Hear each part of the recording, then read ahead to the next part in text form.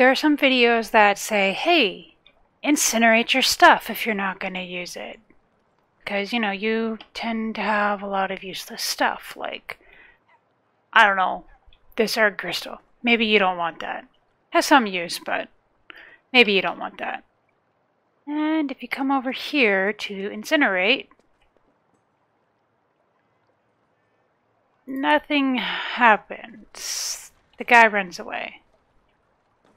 Reason for that is, is because you have to complete a quest.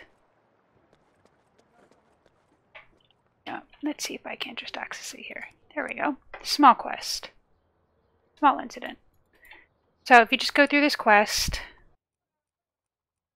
You can entirely up to you. Okay, and just new campfire residents.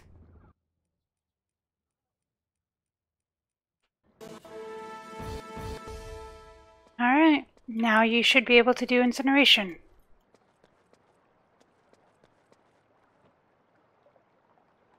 So you just click incinerate. Uh, let's pick... I don't know. Can't incinerate... Oh, I can incinerate this. I didn't think I could. So we're going to incinerate this. Let's click incinerate. Alright, we got some gold coins. Let's go to all. We got three gold. Yay! I think the 2 AP would have been better, but that's how you incinerate. The goal is is that once you get into this caution area, this is when you want to do most of your incineration.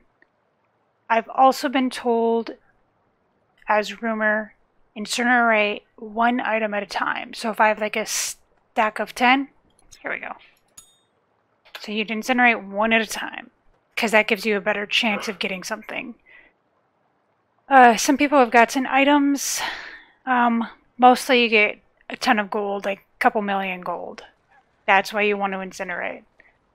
You won't have a lot of useless items per se at the beginning. You'll get most of those when you start doing raids. Because a lot of the gear you get and the Erd crystals you get, there's actually a use for those.